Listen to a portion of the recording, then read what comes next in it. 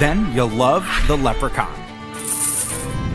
Do you believe in leprechauns? Well, you might after seeing this. As we all know, leprechauns love coins.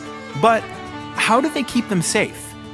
They place their coins under an enchanted cup, and anytime they want to add to their treasure, they just take a coin and magically push it through the top of a solid glass.